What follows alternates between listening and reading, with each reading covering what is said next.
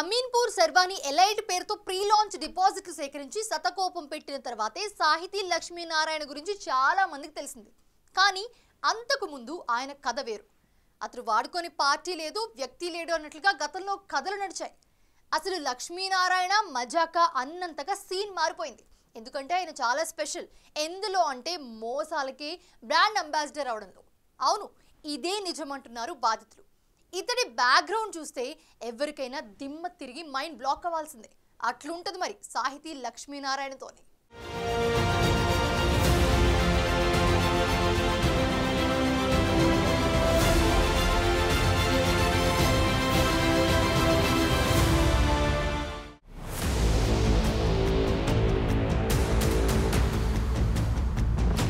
Political లీడర్లు cinema స్టార్లను ఈజీగా ఏమార్చిన ఘనత సాహితీ లక్ష్మీనారాయణది. అలాంటిది కామన్ మ్యాన్ పరిస్థితి ఏంటో అర్థం చేసుకోవచ్చు. అందుకే తీయటి మాటలకు చాలా మంది డబ్బులు సమర్పించుకొని బలైపోయారు. టీటీడీ బోర్డు మెంబర్ దాకా వెళ్ళాడంటే పరపతి ఏ స్థాయిలో పెంచుకున్నాడో అర్థమవుతుంది. సెప్టెంబర్లో టీటీడీ బోర్డు మెంబర్ అయ్యారు బోధాటి లక్ష్మీనారాయణ. అప్పుడు సీసీఎస్ పోలీసులు అరెస్టు చేయడంతో టీటీడీ బోర్డు మెంబర్ పదవికి రాజీనామా చేశారు లక్ష్మీనారాయణ.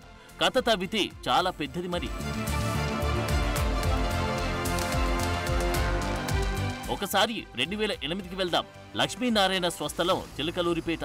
చిన్న బట్టల షాప్తో వ్యాపారం మొదలెట్టారు. అక్కడ ఐపీ పెట్టేసి గుడ్ బై చెప్పేశారంటారు. రెండు వేల తొమ్మిదిలో ప్రజారాజ్యం పార్టీ పెట్టినప్పుడు అందులో యాక్టివ్గా మారారు. చిరంజీవికి దగ్గరగా మసులుకున్నారు. చివరికి చిరంజీవి పేరును చాలా వరకు మిస్యూజ్ చేశారంటారు. ఈ వ్యవహారం తేడాగా ఉందన్న కారణంతో ఆయన్ను పీఆర్పీ నుంచి బయటకు పంపించేశారు. ఇక అక్కడి నుంచి ఊసర వెళ్ళి రంగులు మార్చినట్లుగా స్టోరీ మార్చేశారంటారు. రెండు వేల పద్నాలుగు నుంచి రెండు వేల పంతొమ్మిది మధ్య లోకేష్కు దగ్గరయ్యే ప్రయత్నం చేశారు. అప్పట్లో లోకేష్ ఐటీ శాఖ మంత్రిగా ఉండడంతో ఐటీ టవర్ల నిర్మాణం పేరుతో హడావిడి చేశారు లక్ష్మీనారాయణ. మొత్తం కెరియర్లో పేరు ఒకరిది వాడుకోవడం ఉపయోగించుకోవడం ఇదే కథ.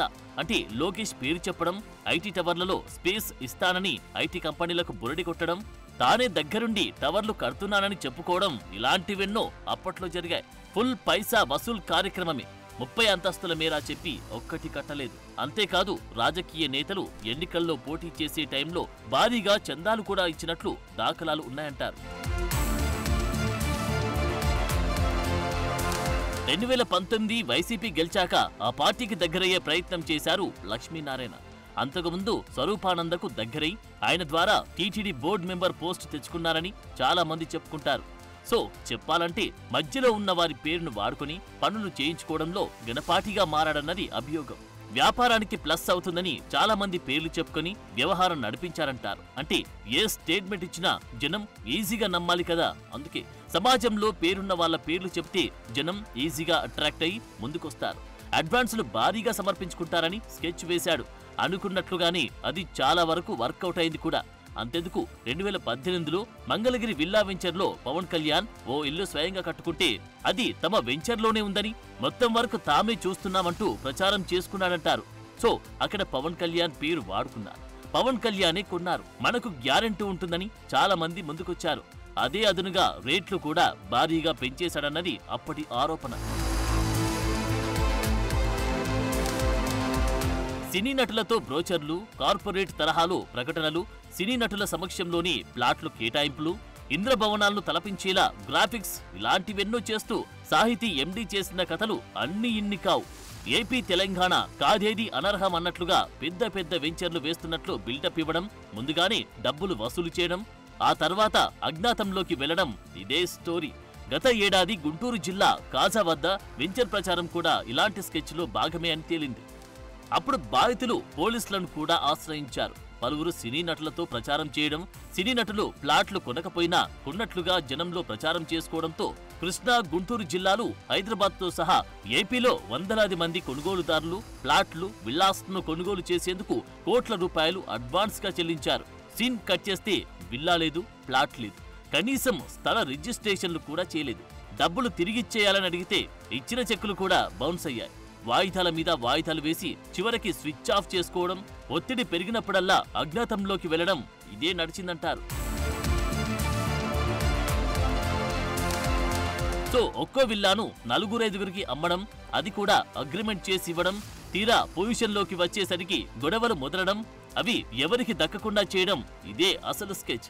రైతుల నుంచి భూములు కొన్న అగ్రిమెంట్లు చేసుకుని డబ్బులు కట్టకపోవడం ఇటు కస్టమర్ల నుంచి ఫ్రీలాంచ్ పేరుతో వసూలు చేసి బిల్డింగ్లు కట్టకపోవడం అంటే రెండు వైపులా భారీగా శటగోపం పెట్టిన పరిస్థితి. బాధితులంతా నెత్తినోరు కొట్టుకోవడం తప్ప ఏమీ మిగలలేదు. ఇలాంటి కేసులన్నీ హైకోర్టుకు చేరాయి. ఇదే కాదు ఇక హైదరాబాద్లో అంతా నా చేతుల్లోనే ఉంటారు. చెప్పినవన్నీ జరుగుతాయని ప్రచారం చేసుకుని అగ్రిమెంట్లు ఫ్రీలాంచ్ ఆఫర్లతో గేమ్ నడిపిస్తున్నారన్న ఆరోపణలకు లెక్కేలేదు సిసిఎస్ కేసులోనూ ముగ్గురు అధికారులు మారారని కొత్తవారు వచ్చినప్పుడల్లా విచారణ మొదటికి వస్తున్నట్టున్నారు బాధితులు. పోలీసుల దగ్గరికి ఎన్నిసార్లు వెళ్ళినా బలమైన ఆధారాలు లేవని చెప్పడం కొంతవరకు భరోసా ఇవ్వడం వంటివి జరిగాయి. కానీ ఇప్పుడు మనీ లాండరింగ్ ఇష్యూలో ఈడీ ఎంట్రీ అవడంతో సాహితీ ఇన్ఫ్రా ఎండి కథ ఎన్ని మలుపులు తిరుగుతుందో చూడాలి.